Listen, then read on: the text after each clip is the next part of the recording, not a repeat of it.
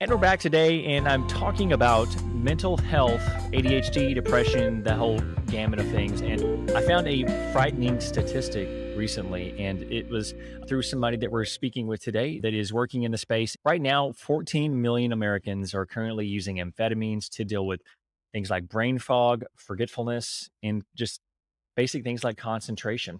So, beyond that, another 37 million Americans, around 18% of the adult US population, they're currently using antidepressants. Now, this isn't to be, this isn't to slam antidepressants or anything like that. I certainly have run that whole cycle of things in my early adult years whenever I was putting my full trust and faith in the um, US healthcare system.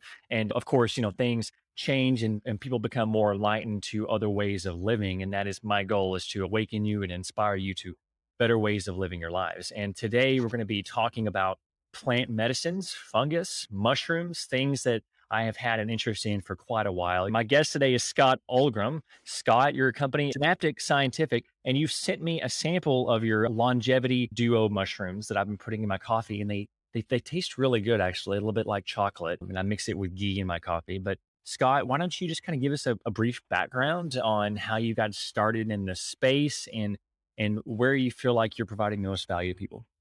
Oh, well, thanks first for having me on the show, James. I really Yeah, appreciate that there's a of course. growing interest in this uh, area. So I'm I'm always pleased when people reach out and say we we like this area, we think it's important. So thanks for having me on. Uh, I am the CEO of Synaptic Scientific. We make a very potent plant-based cognitive brain tonic that we believe is the most effective cognitive enhancing and mood balancing formula on the market today. How I got into this line of work, whew, I am 66 years old, so that that story goes back a ways. My interest in plants as medicine was really the discovery. Well, I got into it probably the same way that 90% of those that choose to get into this line of work, it's because of the, their own personal health problems as a younger person and the failings of the,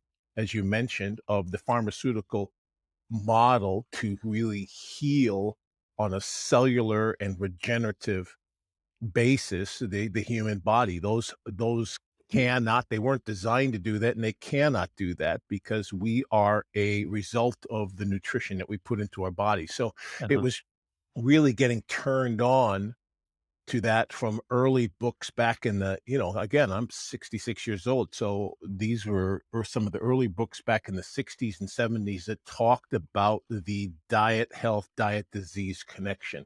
So that's kind of how i got into it and i had developed skin and digestive problems and the prescription meds, meds that i was given were really hurting me because they're not you know they're not nutrients they're chemicals that trick the body into doing something different. So just to be clear too, I always like to say this. I'm even though I uh, I'm I'm pissed at the pharmaceutical company in the way that they have presented themselves as solution to things that are in fact nutritional based. I am not anti-pharmaceutical. Pharmaceut pharmaceuticals can be absolutely life changing. They are perfect for dire situations that keep the body alive long enough to bring in the nutritional support, but we are using the wrong tool for the wrong problem. You know, it's like putting gasoline to, you know, start a backyard grill or, you know, people who are using Oxycontin for a toothache. It's just the wrong tool for the wrong job. So, Uh-huh. Yeah, you know, and, and like you said, these are all just tools, right? And whenever you have a hammer, everything looks like a nail, and that's often what you you get whenever you go to the doctor. You know, they're they're not they're not able to write a prescription for mushrooms typically. You know, most you know, but their their job is to is to is to to apply the right prescription medication to these different conditions, and basically it's just like whack a mole a lot of the time. And I, I try to seek out holistic or you know integrative type um, physicians that are familiar with things like this that, that you're working with. So that's right. let's get into a little bit about what the, the benefits maybe of some of these things, you know, and you can talk about the sample that I've been putting in my coffee for the last two weeks.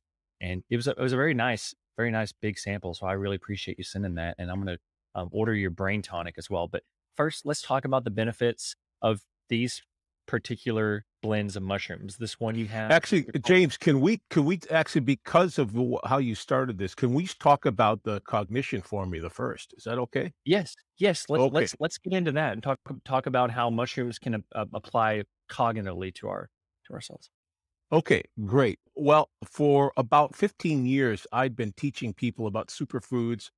And in fact, I had a 28 day nutritional cleansing course. I wrote four books on the topic. And at one point, I really decided, you know, I really wanted to, uh, you know, build my own company. So I was watching this astronomical rise of popularity of stimulant drinks and energy drinks and seeing kids and college students. And then, as you pointed out, the the horrific number of people who are on antidepressants mm-hmm. and or on amphetamine based things for ADHD and I'd been using plants to to aid in mental clarity for years. So uh, I that's what we did. We developed a, a, a, product that was the first nootropic that ever got sold in Whole Foods. And maybe some of your listeners remember a drink called Brain Tonic we started selling it in we got accepted into all whole foods in about 1400 other stores in 2008 and it sold for the la- for you know for about 10 years in those stores so that was kind of the basis of it but i'm sorry what was your question? You asked me kind of how, how do how do they work?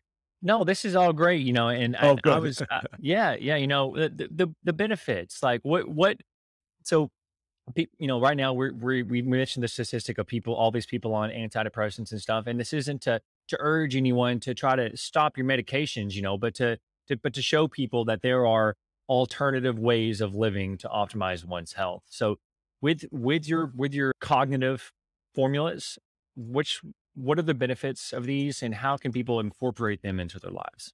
Yeah. Okay. Well, most people are actually familiar with a couple of, of, plant medicines. I like to call them plant medicines that they mm-hmm. probably take on a daily basis. Their parents took them. And one of them is the coffee bean. One of the ingredients, there's actually about 700 known active ingredients in coffee, but the most famous one, of course, is caffeine. And it does work to help cognition. But the whole thing about bot, you know, but the botanical world. There's something like 400,000 plants on our planet. And there are some other well-known plants that have been used by other cultures besides ours for hundreds of years that not only they're not like caffeine they're not like the stimulants amphetamine stimulants they actually do other as do other things for the brains that are really, really crucial. And they actually help people with ADHD, with focus problems. And some of them actually help with mood stabilization. So for those who are wa- listening to this or watching us and they're they're dealing with anxiety or depression, there are some plants that are very available. We're actually putting them into our cognitive uh, cognition formula that are good for doing that. So just, just to give you an example of a, of a couple, there's a there is a seed called Griffonia simplicifolia. That is a mouthful of a word, yeah. but that, unfortunately they don't have a simpler term for it. Griffonia is out of the entire botanical world has the highest amount of precursors of serotonin.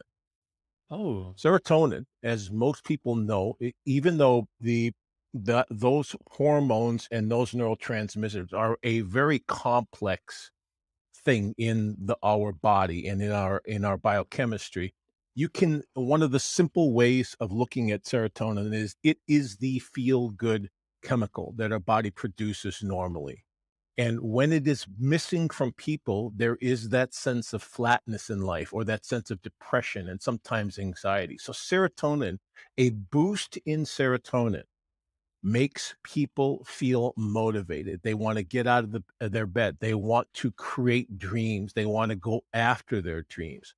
And simplicifolia, it has a precursor called 5-HTP. And in fact, mm-hmm. you can get the chemical version of 5-HTP on Amazon, on any any natural health food store in the world right now because people know how its impact. Mm. And the other really cool thing about taking a little bit of this Griffonia simplicifolia seed every single day is that it the body when it breaks down the the components inside of it metabolizes that plant it not only gets access to that that precursor to serotonin it's as if the body recognizes it better than it does in any other format. So it's giving you the tools to create more serotonin. Now this is where there is a strong departure between that what i just told you about and pharmaceuticals. Some pharmaceuticals, especially the ADHD, well, actually, no, not the ADHD ones, the uh, the antidepressant ones, force the body to use up its current serotonin amount. It's not giving the body more serotonin. It's it's forcing the body's chemistry to get access to the existing serotonin in the body. So if you don't have enough serotonin, yes, it's going to tweak the remaining amount in there, but what the body needs is more of that nutrient. And that's what Griffonia simplicifolia does. One other aspect about that plant that I find so important is that people who take that plant often report better sleep. Why? People who are listening to this podcast now, James, have them look up where melatonin comes from melatonin comes from the breakdown of serotonin. What's a hormone? So as it as nighttime starts to come, the body's uh, body's system goes, it's getting to be nighttime. We got to start preparing for sleep. So it takes the existing serotonin in the body and metabolizes it into melatonin. And man, that is the effect that just that single plant can have on people's well-being. So, you know, I I was looking at your website here and I wanted to know exactly what was in the cognition supplement. So I pulled it up and I'm impressed with this formulation. And I'm just going to, uh, and I'm just giving my, my initial impressions. I'm not trying to sell anybody on your product or anything, but I, I was thinking it was just a blend of mushrooms, but I was looking at it. You've got several interesting things in this. And I'm just going to go and the reason I thought it was so interesting is because I'm taking these as a, as a supplement myself. And I mean, I've, I've got a a whole closet full of stuff. But here's what I here's what's in your cognition supplement. Bacopa. I'm, I'm naming the ones that I recognize. Mucuna purins. So how did I um, did I pronounce that wrong? Pu- yeah, you take Mucuna. I do, and, and it is a precursor to I think L-Dopa or dopamine. Correct. I feel a very strong drive whenever I take that supplement, and I so just just from those two ingredients on your label, I can tell that you will definitely feel something from this. So I, I'm interested in trying that one. Uh, yeah, very good. I, am I'm impressed. Not many people are familiar with Mucuna. But but it also has has AGP choline. So you know, choline is a, a neurotransmitter that is used in lots of different things, and and I, will take choline with different things to support you know the mm. um, different nootropics that I try, but I'll take uh, what am I taking? Alpha GPC. It's similar. Oh yeah, yeah, yeah. Um, A-glycerylphosphorylcholine. Very good. That's that's actually to me the the one that is the most bioavailable. So you know, just because I'm a nerd, maybe talk about one of these. What, what is this? Uh, Centella. Yeah, there's a few others. So, so Celastrus paniculatus there's okay. Centella asiatica. Centellica is also known as holy basil. No, sorry, not holy basil. It's known as gotu kola. Gotu kola is also balancer of emotions in the body. Bacopa and Celastrus both have the ability to increase brain fluid. So more, more blood movement, more flushing of the brain. And then there's a really interesting one. So I'm bringing it, bringing it up in my mind. Uh, Ocimum sanctum. Ocimum sanctum is also known as holy basil. Holy okay. basil is yeah. oftentimes used in cooking, but if you mm-hmm. extract it in the right way, you get these fascinating compounds that seem to open up the top part of the brain, which I don't know that much about brain chemistry, but there's definitely one aspect of the brain that uh, that it opens you up to, I guess you would call it your intuition.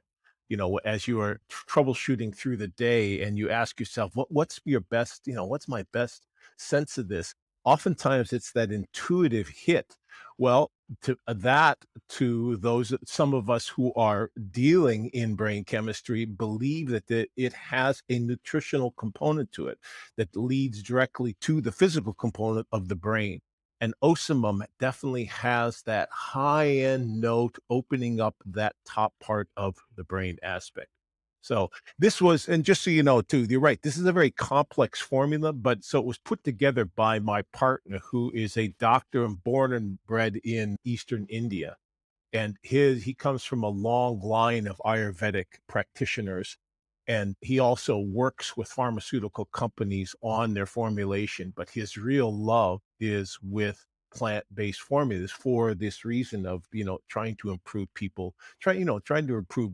society and give them a better better access to a more sane way of looking at and achieving mental health. Hmm. So I'm gonna. I was just looking at your website as you were saying all this. I'm gonna order that, and um, so you know, just to get into, uh, is any of this studied in research? Is anybody looking all of it? all of it. You bet. All of it has fascinating studies that show its positive effect on either uh, well-being, emotions, or on increased function, focus, memory, all of it. Yeah, you bet. All of it has studies that show those results. None of it is just put in there by random. Yeah. One of the things too that I think is important for people to get, and it it only comes, I think, from having done this now for 15 years, being in manufacturing. There is a real difference in how a plant is manufactured.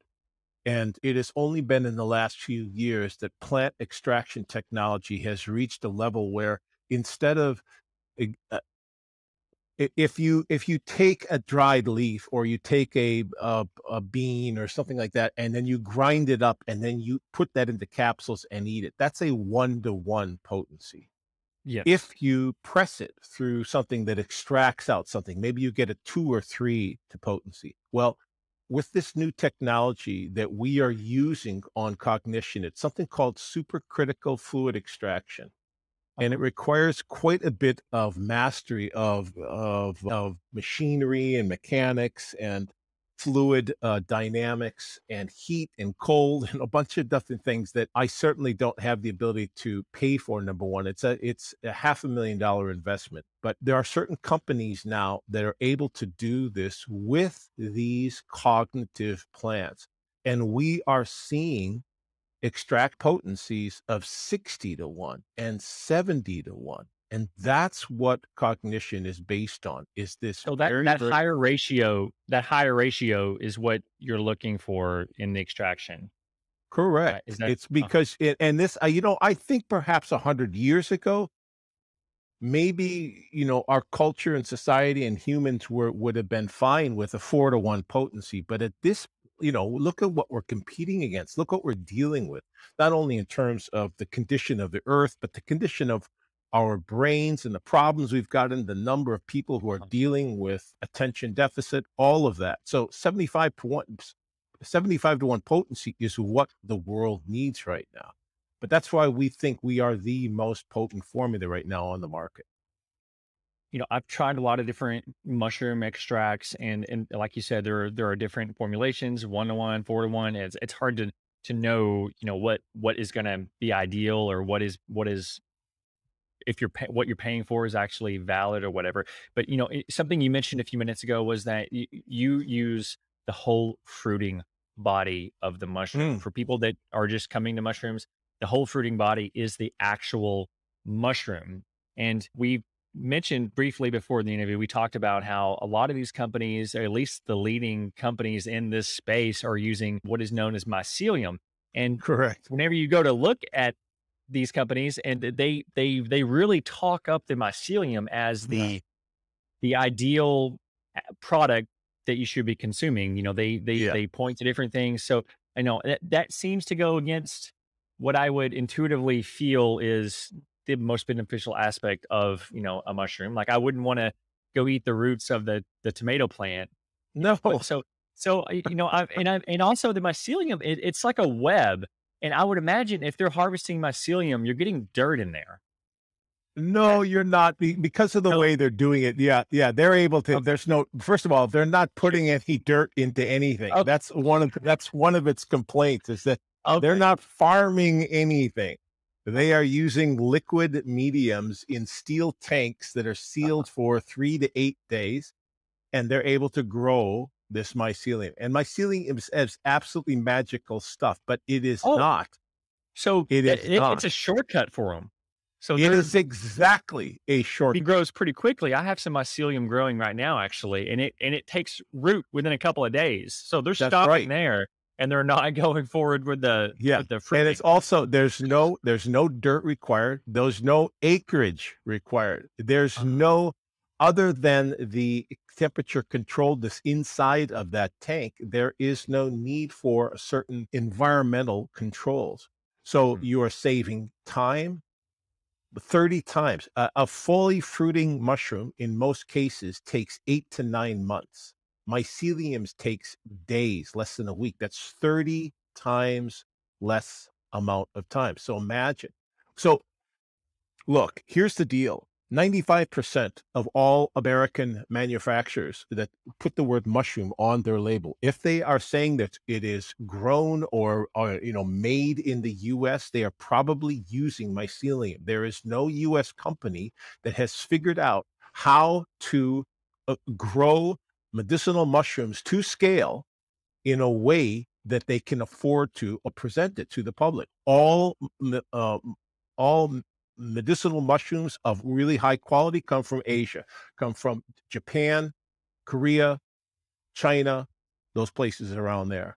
All the rest is mycelium. And when it comes to mycelium, all it is is a matter of looking at the potency.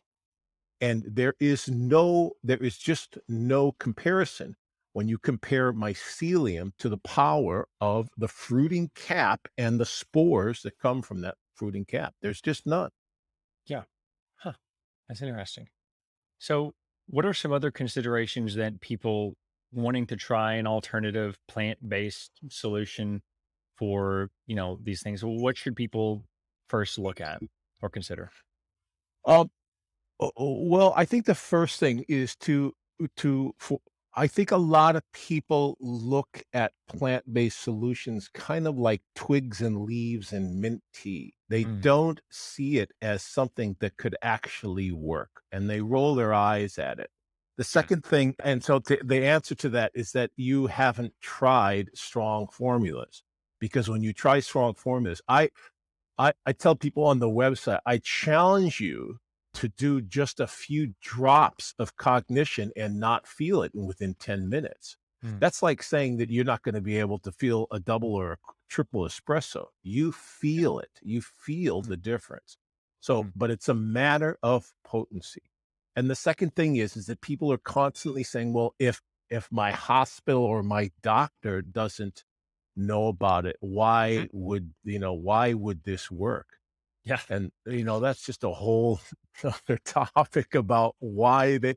I, and I would say largely it's because it was how they were trained. Because if you go to other countries, they'll they'll recognize Celastrus paniculatus as a very good aid for mental clarity, but none of the Western doctors have been taught that. So You know, that I, you know, there are a lot of great doctors out there, you know, and you sometimes great have to doctors. you, you you sometimes have to to to mine you know the listings for for physicians that that think outside of the box and aren't just you know Yeah. writing the prescribing guidelines you know and and I know that doctors aren't infallible because I'll I'll I'll kind of give you a preview younger adult days I've I've sat in 12 step meetings with brain surgeons that smoke crack so you know the doctors aren't exactly you know infallible They, you know, Infallible. yeah yeah so the- the- they're just human as well and it- Yeah. there are you know I, i'm i'm I'm a huge advocate for alternative medicine alternative health and and plant-based solutions like this because I, I have seen a huge impact on my own health just from incorporating mushrooms and various you know things microdosing um, lion's mane you know and and coming upon your formulation here it, there's not a lot of people doing this this formulation at all and i'm i'm very interested i've tried this one and i want to try this the uh, the cognition one and from the website it says it's a bit bitter is that a sublingual is that a sublingual application Under- Yeah, a brain brain tonic comes. I mean, uh, if if we are doing this on video, brain tonic comes in a Mm. liquid formula, and it's a thick formula. It's a little bit, I guess, a consistency of like a. Yeah, it's like almost like a milk, you know, So like, shake it like up? that, like a shake it up like a milkshake. So you shake it up, number one, Mhm. just to make sure that you get you know good homogenous mix of all the the Yeah. aqueous mix in there and the lipids, and then yeah, we we we realized that after months of trying to make it taste better, that people would just have to get you realize the the the best ingredients in the plant world are mainly alkaloids. It's the alkaloids that do the work, and those are all bitter to at to different extents. So there's a bunch of different ways. Some people say, "What are you talking about? It tastes great. I put it right in a spoon, or I put put the you know squirt it straight into my mouth under my tongue, leave it in there for 15 seconds, and swallow. it. It tastes great. We do have some flavorings in it. We've got a bit of a citrus flavor to it, you know, and some people find it delicious. Others, though, will find it bitter. So you can mix it with lemonade or uh, orange juice or put it in your smoothie. We just had a friend visit who works in Silicon Valley and he loves mixing it just in water and sipping it through the morning. But yeah, it's got a bitter taste. You know, I want I was pulling up a, a research study here that talks about the anti-aging effects of cordyceps and this blend that you sent me, the L2 Longevity 2 blend. I'm all Yeah. for anti-aging and longevity. So I'm going to link to this study here in the show notes. But basically what they found was they measured these these various um, enzymes related to oxidation and aging, and they and it showed that um, it promoted sexual function in mice that had, had even been uh, castrated, which I thought was really interesting. And of course, it helped downregulate these different um, enzymes that affect that affect senescence and sort of these zombie Yeah. cells. So, like, th- there is real science behind this. You know, we're not out in the woods just plucking mushrooms from the ground or turning over cow No. patties or whatever they do.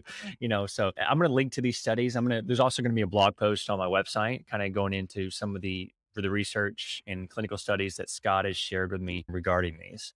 Scott, what is what are some other things that we would you know that you'd like to mention about itis? You kind of covered them. You know, to me, the the the the main things is for people to try out superfoods. Look around mm. for for products that have good potency levels that aren't filled with hype, and then give them a try. And you have to find your own, you know, your own way in it. But I would say that that's the same thing with nutrition. You know, some people Mm, find yeah. be, being meat eaters is the way to Mhm. go. Others are Yep. more plant based. Others have to Mhm. be completely off dairies. Others go, you know, a little dairy once in a while is good. So you have to find your own way. But read some of the stuff, the science behind these, because that's what we manufacturers are doing is using the science to Mhm. to direct us in how we're putting these formulas together. You know, and it to that same note, reading and cognizing the beneficial aspects of of plant medicines also reinforce the the effect that you're going to get. Not to say that it's placebo, but you know, that it helps to internalize what you're putting into your body rather than Very just much. blindly blindly consuming products right? You know and what you said about everybody being unique that is what modern medicine sort of misses. They there's a there's a there's a pill for everybody and that is that you know just applied across the board and that that we see this you know manifesting in ways in society like you know increased loss of language accuracy divisive behavior cult like behavior. I mean all, all you have to do is turn on the news and and and you can see how you know possibly these these behavior type drugs are affecting you know society Oh, a lot of these countries don't- exactly Uh, mean, James, I, I really industry can't can't they can't patent mushrooms you know No, they not, can't. not, not in They this way yeah No, they can't. Yeah, that's it's interesting you mentioned that about the current state of the union, and a lot of it has to deal with a loss of clear thinking, and Mhm. uh, that's i really I that was really kind of the the impulse behind starting cognitive uh, synaptic scientific was the idea of you know what what if we could create a formula that that in its in some small way helps people think clear. Yeah. And, and yeah. not only not only a loss in in that, but it's it's something about modern medicine in today's society that that is driving a wedge between you and and just yourself and your your in in recognizing what is right for you and and your relationship from yourself and with the earth. These mushrooms, they have sort of this this cohesive relationship with with nature, with earth. Like it, I think, you know, the, the mycelium network that these mushrooms grow on, it doesn't this sort of, isn't there a relationship between like the trees and everything is sort of, you know, connected, you know? So, you know, that, that's what really, that's what really in, incites me to, to seek out these plant medicines that, that are more holistic and yeah. Yeah. Yeah, I agree. I think that's one of the one of the powerful uh, results of mushrooms, and I don't really understand how it does that in the body, but it does seem to make you feel more connected. Mm-hmm. So, you know, I, I didn't I didn't tell you I was going to ask this, but I've been asking other guests this recently, and it is mm-hmm. this, and you can take your time to answer it. If you were to put up a billboard in a super busy area, you know, that had tons of traffic, you know, what would that billboard say? What sort of message would you try to get across? Oh, wow. You can take your time, Scott. Oh gosh. That's a that's a fascinating question. Boy, we are all connected. And the idea that the amount of melanin or the you know the tone of your skin has anything to do with you know our differences is bunk. Mm. We are all connected. We are all the same, and we all have to work together to figure out how to move forward. That would be it. So, you know, I th- to that same effect, I think that there is possibly, and we haven't really gotten into this, but I think that you know the the research that is being done, the investments that are being made in the space, whether that's good or bad, the commercialization of it, but I think that there is possibly an avenue to um, improving our collective mental health and relationship with one another and realizing our oneness through these different plant medicines such as you know psilocybin and and things like that that sort of interrupt that that that ego that we have you know and kind of lift that and uh, allow us to see that you know we are all connected just just as you said scott. That's right that's right and by the way i'm glad you mentioned uh, psilocybin. One of the things i used to do in the 90s was do workshops with a man by the name of Ralph Metzner. Ralph Metzner was one of the original group that came out of the LSD movement back in the early 60s with Ram Dass and some of the others hmm. during that period. And he he just passed away a few years ago, but he used to surreptitiously offer you know the, his skills in that realm and he would come to events where you know sort of uh very discreet group of people would get together. And when I lived in Colorado, I hosted him a few times. And that was one of the things, obviously, that he was a big proponent of is using entheogenic plants mm-hmm. of the world yep. to open our minds to our connectedness. Yeah. All right. My guest today was Scott Ohlgren. His company is Synaptic Scientific. You can find him at synapticscientific.com. The product that I've tried of his is the L2, the Longevity 2. It contains cordyceps and reishi spores, which I thought was tasted really good. And I've been putting it in my coffee and will continue to do so here for a while until I run out and re up through Scott. And I'm going to be trying his brain tonic. So I'm going to put links in the description here. You have links to the studies uh, regarding these compounds and these mushroom extracts on my blog. And you can find more with Scott on his website, like I said, at synapticscientific.com. Scott, thank you so much for joining me. I, I, I really appreciate it, all the information. I'm a huge nerd about mushrooms, anything to do with plant medicines. Thank you again. You're welcome, James. Thanks for having me on.